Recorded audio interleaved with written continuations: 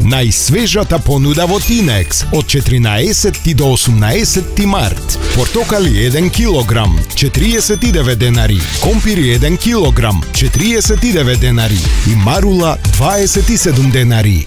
Тинекс